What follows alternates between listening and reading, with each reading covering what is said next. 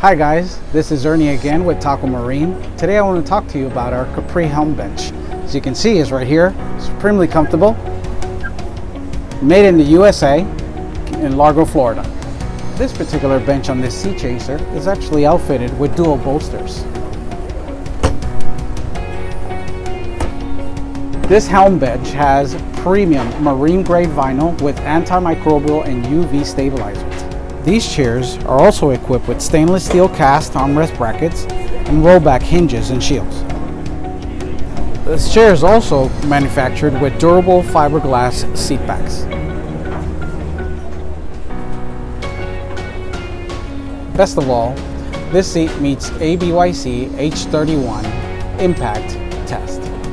You can learn more about this bench chair and all of our made in the USA helm chairs at tacomarine.com.